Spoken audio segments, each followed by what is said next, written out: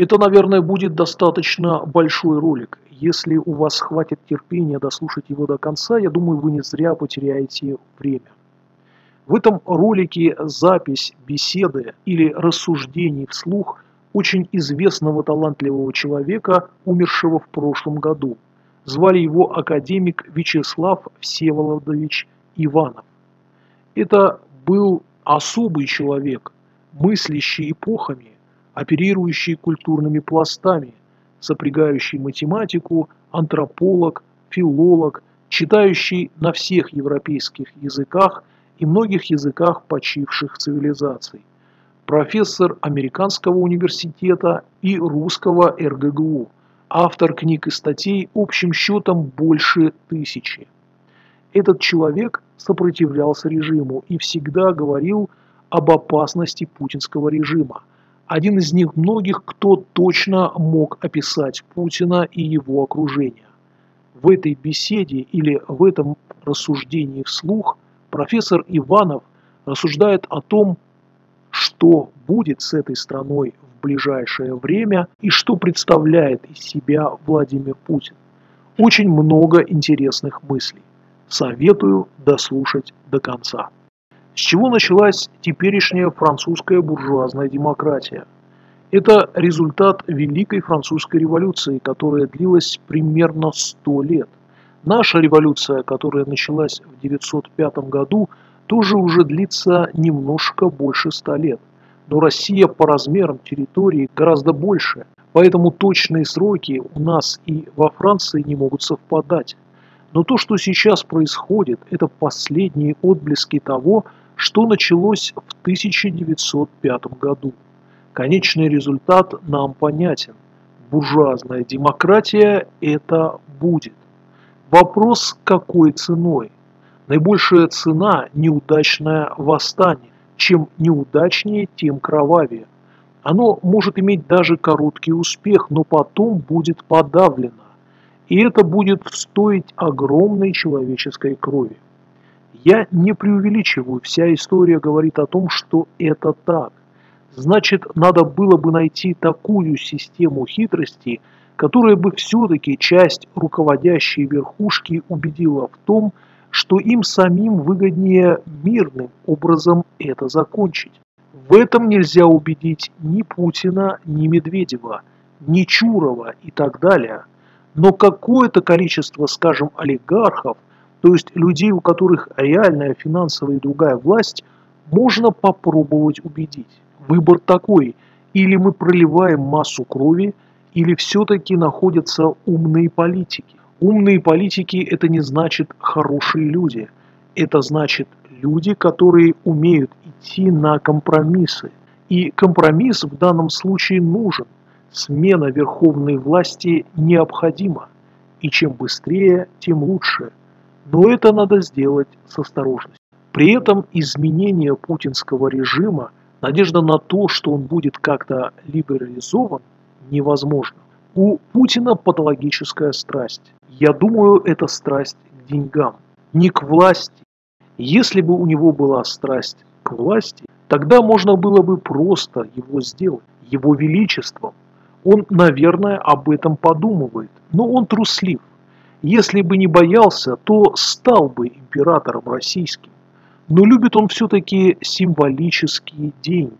Он понимает, что бежать ему будет некуда, хотя это был бы наилучший вариант, если бы он сел в самолет и улетел бы, скажем, в Финляндию или Италию. Но дальше начнутся расследования. Интерпол и прочие неприятности, он это понимает. А я в его лице читаю смесь трусости, небольшого ума, бездарности и каких-то подавленных комплексов, которые делают его очень опасной личностью. Боюсь, что он вообразил себя воплощением национального духа или что-то в этом роде. Отсюда и его игры с РПЦ. И поверьте, если бы он не был трусом, то он бы короновал себя. Путин бандит. Бандит умеет очень много делать. Сталин был бандитом.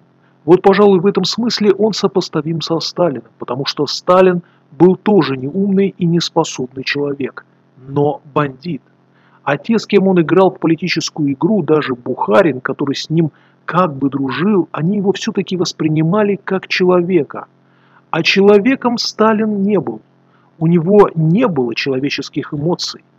Я думаю, что у Путина только к собаке есть человеческие чувства. Я думаю, что никому из окружающих у него никаких чувств нет.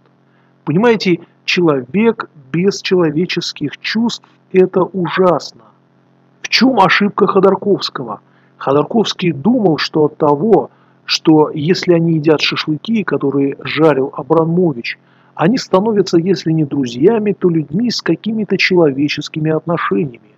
А с ним никаких человеческих отношений быть не может.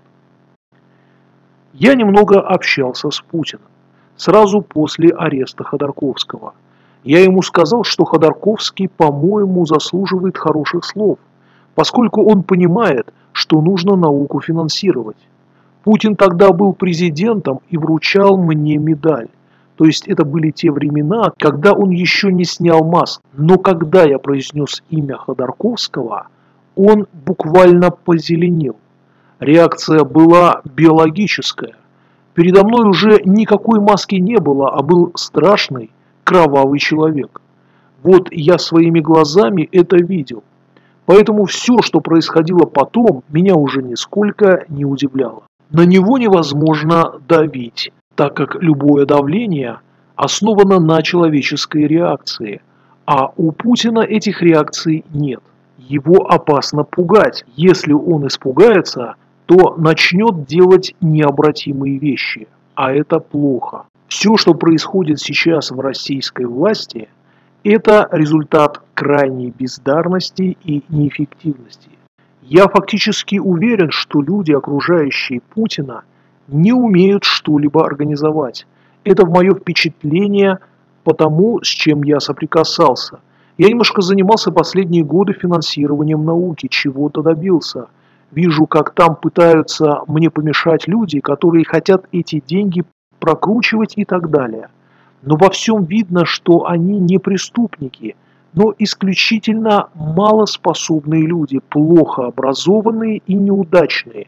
То, что им удается, а это совсем немного, происходит просто потому, что на самом деле им никто не сопротивляется.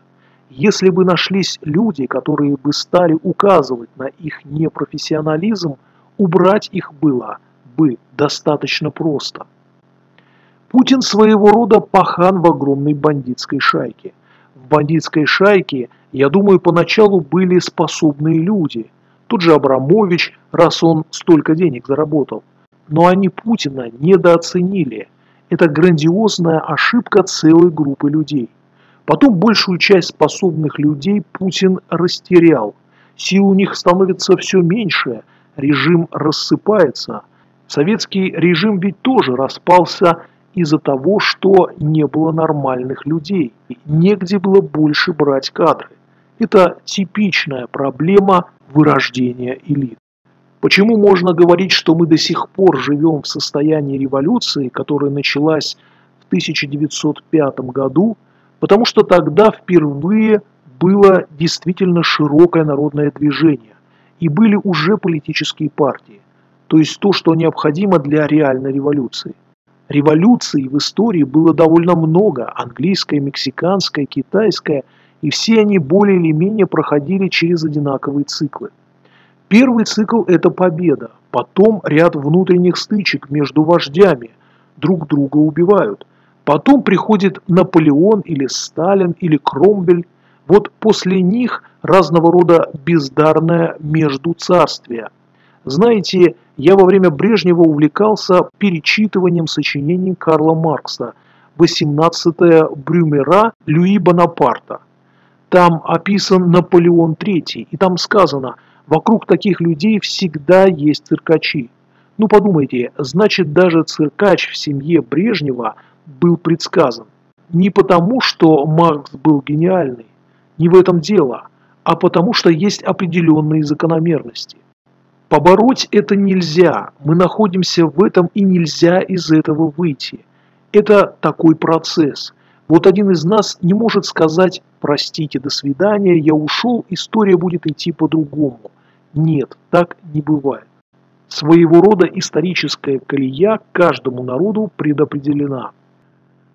Более того, я уверен, что протесты на нынешнем историческом этапе ничего не дадут. Но мне кажется, что все равно нужно действовать, нужно вести работу по всей стране. То есть нужно ездить, объяснять людям.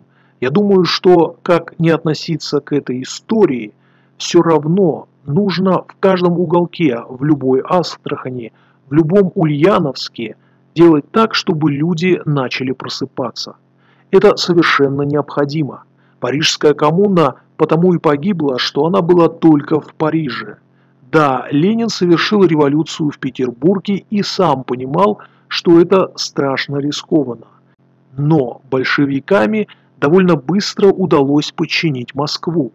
А тогда Петербурга и Москвы было для России достаточно. В нашем случае боюсь, что Петербурга и Москвы уже мало из-за экономики, из-за того, что все-таки большая часть страны находится за Уралом, Владивосток и прочее. Какие-то большие центры надо охватить, иначе возникнет опасность распада страны на куски. Но то, что и было в начале гражданской войны 18-21 годов. Но тогда было все равно не так страшно, что, например, Омск был у Колчака, потому что от Омска мало что зависело. А сейчас, если вдруг чисто теоретически Урал отпадет от Москвы и Петербурга, очень трудно удержаться той власти, которая была бы там возможна. Потому что государство устроено в предположении, что это единая экономика. И так плохо работающая экономика. А если распадутся все связи, просто наступит хаос. Россия погрузится в полный хаос – и сейчас для этого созданы самые оптимальные условия. Вот поэтому мне кажется опасным слишком мобилизировать толпу. Надо с помощью интернета все подготавливать, проигрывать варианты и только потом действовать. Иначе Россия стоит на одном шаге от большого хаоса. У нас достаточно специфическая страна. Например, интеллигенция в России восприняла идею 1917 года как новый духовный мир, не нуждающийся в материальных ценностях, что, собственно говоря, было плохо.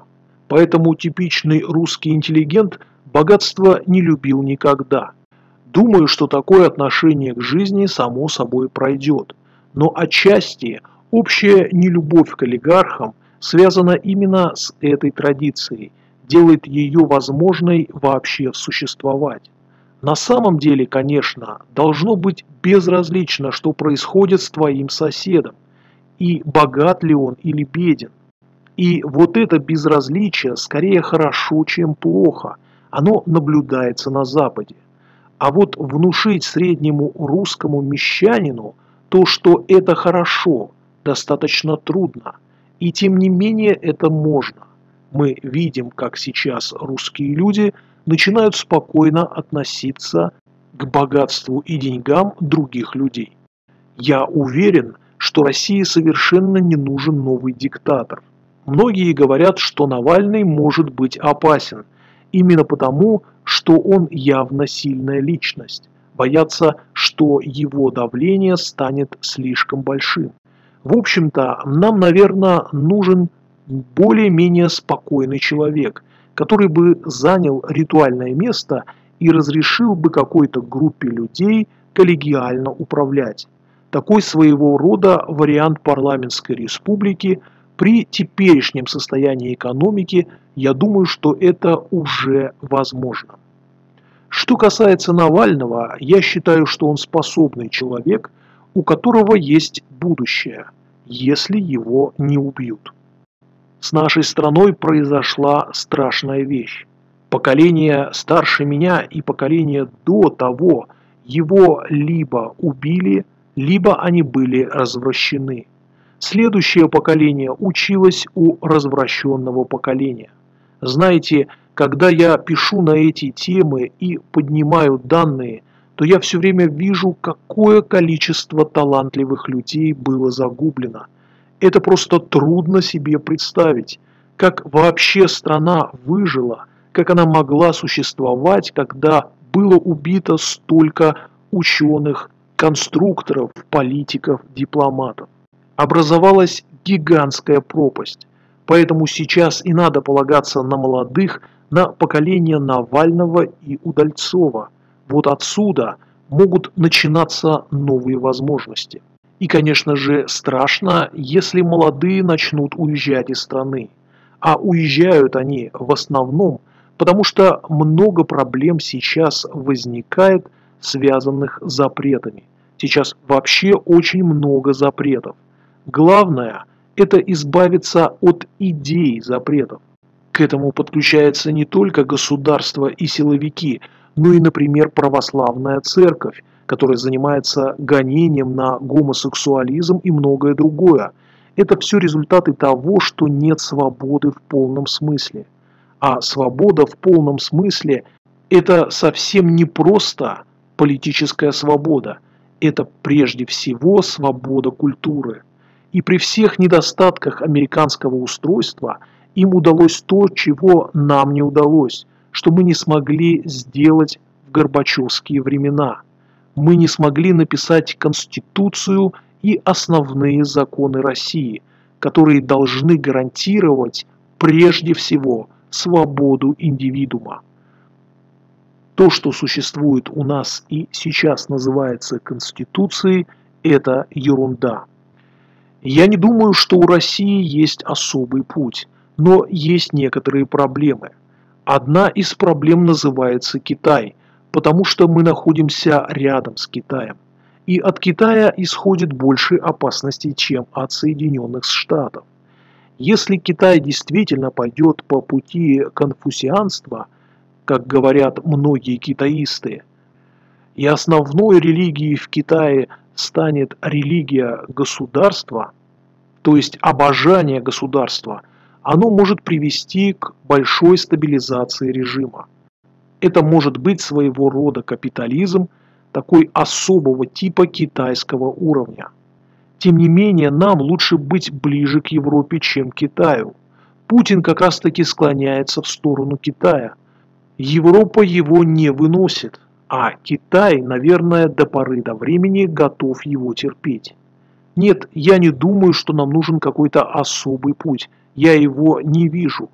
Экономика очень жестокая вещь, и сейчас мы живем в эпоху глобальной экономики, которая в целом во всех странах устроена одинаково. Поэтому для России нет другого выхода, ей придется идти в ту же сторону, как и всем остальным странам.